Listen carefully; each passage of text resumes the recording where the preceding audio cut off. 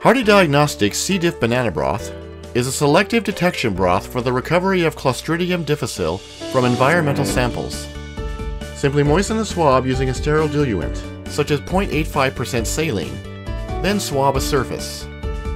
Insert the sample swab into the C. diff banana broth tube, snap off the end of the swab, attach the cap, then incubate.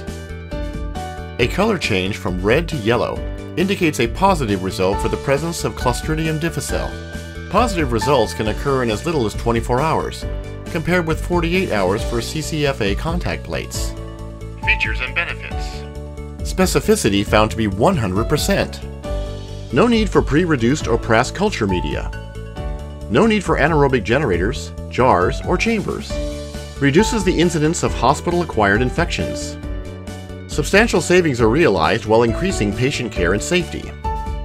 For more information on C. diff banana broth, call Hardy Diagnostics at 800 266 2222 or go to our website hardydiagnostics.com slash bananabroth.html.